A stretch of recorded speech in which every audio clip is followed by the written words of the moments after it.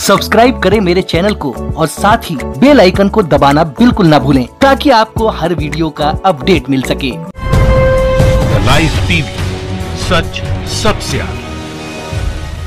नमस्कार दोस्तों आज हम आपको सिखाएँगे कैसे हमारे प्रिय मोदी जी की तरह उच्च स्तर का भाषण दिया जाता है।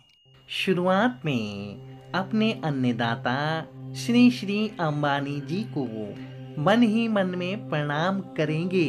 फिर मंच पर उपस्थित आपके कालिया और सांबा का शुक्रिया अदा करना ज़रूरी है, क्योंकि उनके बिना देश को इतनी बखूबी से लूटना आपके लिए संभव नहीं था। भाषण के सफलता के लिए आपको ये मानना ज़रूरी है कि जनता बेवकूफ़ है। और आपके झूठ को पकड़ नहीं पाएगी। अगर आप मुख्यमंत्री स्तर के नेता हो तो आपके भाषण में लगभग 100 से 200 झूठ बोलना ज़रूरी है। केंद्रीय मंत्री या प्रधानमंत्री स्तर के नेताओं के लिए झूठ बोलने की कोई पाबंदी नहीं है।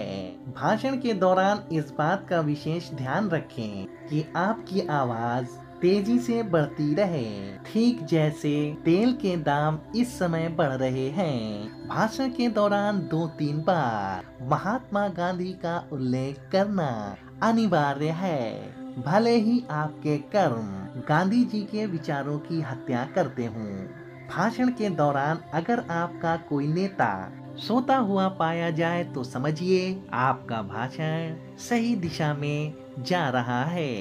बीच बीच में पिछले साढ़े चार साल के काम को लेकर झूठे आंकड़े फेंकते रहे और मौका मिलते ही जनता के सामने तरह तरह के जुमले उछालते रहें ताकि तालियों की गड़गड़ाहट के साथ नारेबाजी होती रहे।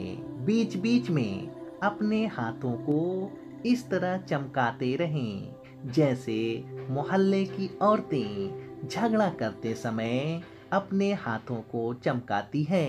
साथ ही ध्यान रहे, इस दौरान पाँच साल में बेरोजगारी सबसे ज़्यादा है, जैसे आंकड़े गलती से भी ना निकल जाए, क्योंकि इससे आपकी पोल खुलने का डर रहेगा।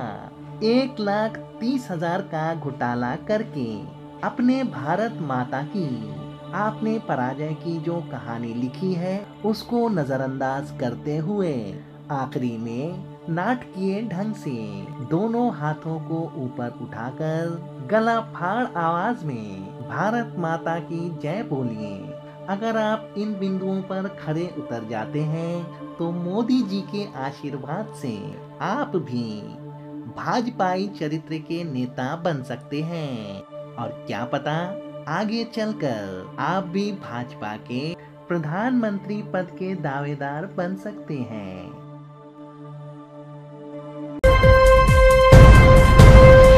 लाइव टीवी सच सबसे आगे